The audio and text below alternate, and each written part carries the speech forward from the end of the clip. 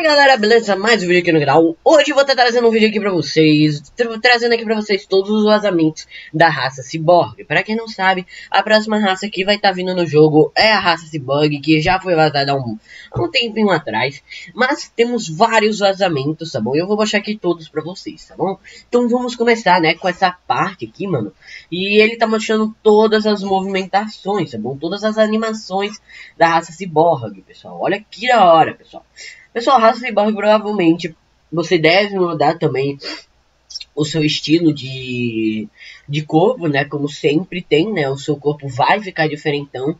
E a questão de... E também vai ter provavelmente... Provavelmente não, vai ter um estilo de combate. E o estilo de combate, pelo menos o que a gente vê no King Legacy, por exemplo, ela tem um bagulho de cura, então você vai poder se curar, talvez, né? Se for basear no King Legacy. No King Legacy ele tem dois ataques, um de autodestruição e um de se curar, tá bom? Então esses dois ataques, assim, se tiver, ele vai ser uma das...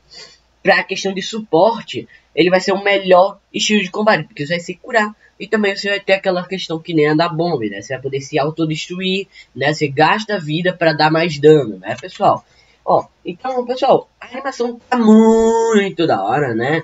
Ó, pelo que parece, ó, aqui é, aqui é o primeiro um braço, né? Ou uma perna, não sei ver direito, porque isso aqui é só uma parte, né? Não tem tipo, uma referência se é perna ou braço, né? Mas aqui parece. Eu não sei o que, que seria esse quadradinho. Eu acho que isso aqui é a parte da, da barriga, né? Embaixo da barriga e tal. Que provavelmente vai ficar assim no meio, né? Da barriga e tal. E é isso, né? A gente não tem muito vazamento. É esses vazamentos, mas é o seguinte, cara a gente pode ver algumas coisas muito da hora, né? A primeira coisa é que tem essa parte colorida, né? Com várias cores, que provavelmente vai ser um dos braços, provavelmente vai ter em todas as raças ciborgues. E, claro, cada, normalmente são três corpos e uma raça, né? Porque não sabe que é o seguinte, por exemplo, a gente tem a raça de Skypiea. A raça Skypiea todas têm asas. Só que a raça de Skypiea, a diferencial de cada corpo é só o estilo da asa.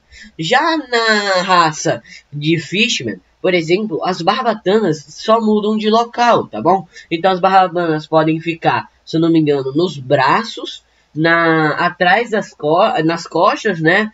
E um, eu acho que na cabeça, tá bom? Esses são os três corpos. Então, realmente, o Cyborg também vai ter três tipos de corpos, né? Diferente, algum diferencial pra, de corpo, né? Que não vai mudar nada em questão disso, né?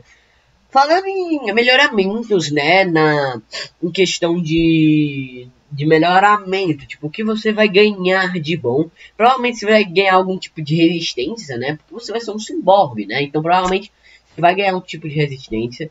A gente sabe que no anime, tá bom? Eu tô falando no anime, o Frank, ele tem que ficar tomando Coca-Cola, né? Ele tem que ficar tomando Coca-Cola pra ter poder, né? Pra...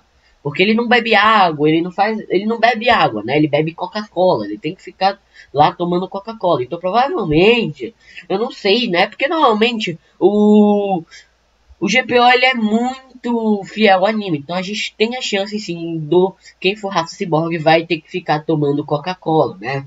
Provavelmente é, você tem que comprar, né? Onde você for é, despertar a raça de cyborg, tá bom? Eu não sei se vai ser no Forticia, provavelmente vai ser. E por que disso? Porque assim, pessoal, parando para pensar, faz muito sentido, faz muito sentido mesmo. A raça cyborg sendo Forticia, não sendo no Second Sea tá bom? Na minha visão. Porque todas as raças você pode, por exemplo, a de Skypiea, né, em própria Skypiea, você pode despertar. Já em... É, em mim, ah não, mas aí... Aí eu, eu me confundi, né, pessoal? Porque assim, a raça Mink, por exemplo, pra você pegar o estilo de combate, é na ilha de Zou, né? Que é onde aparecem os Minks. Na ilha de... Lá em Fishman Cave você consegue o Fishman Style, né? Então, Provavelmente, pessoal, a gente tem a chance de vir o Water 7 aqui dentro do jogo? Temos. Uma grande chance. Então, eu posso fazer uma teoria sobre é, ilhas, tá bom? Pode estar vindo o Water 7 por causa da raça de Cyborg. Porque, pelo menos, todas as raças que você pode despertar ou pegar o estilo de combate, todas são nas ilhas fiéis ao anime. Então não faria nenhum sentido a raça de Cyborg ser, por exemplo, em Alabasta, por exemplo, ou em Holy Cake, ou em, sei lá, em Wano, ou alguma ilha aleatória.